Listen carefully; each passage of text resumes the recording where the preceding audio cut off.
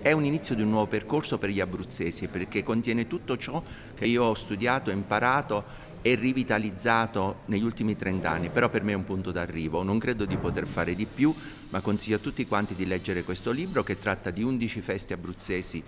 rivitalizzate e quindi riportate alla nostra epoca e che conservano però tutti i valori della tradizione, sia nella forma che nei contenuti. Quindi un, un, discorso molto importante che può essere utile anche per pensare a un futuro migliore rispetto alle situazioni problematiche che abbiamo adesso. Abbiamo raccolto per dieci anni le migliori foto grazie al fotografo Roberto Castrofino che segue il, um, le attività della compagnia Tradizioni Teatine. Naturalmente è un libro che ha avuto anche un, notevole successo perché è stato finanziato dal Consiglio regionale per la cultura e um, è considerato dall'editore eh, Menabò, uno dei migliori libri eh, che, stato, che, sono stati pubblicati da questa famosa casa editrice e poi in realtà eh, i testi eh, son, diciamo, sono ehm, testi che, abbiamo, che, io ho scritto nel corso degli anni e che poi sono stati revisionati e implementati dall'opera di Francesca Falcone che è una curatrice di beni culturali.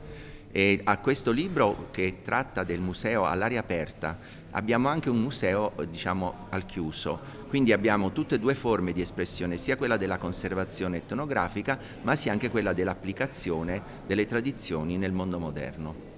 Il Consiglio regionale promuove tutti i progetti interessanti e che soprattutto valorizzano le nostre origini, le nostre, origini, le nostre radici. Eh, questo progetto sicuramente è un progetto interessante perché poi ha ricadute sul territorio dove si riorganizzano e si vitalizzano manifestazioni che fanno parte della nostra storia, della nostra cultura. È evidente che un popolo eh, che vuole andare avanti, vuole innovarsi, però deve tenere sempre presente le proprie tradizioni, deve capire da dove viene per capire dove andare e sicuramente questo è un libro interessante, un progetto interessante rispetto a questo punto di vista.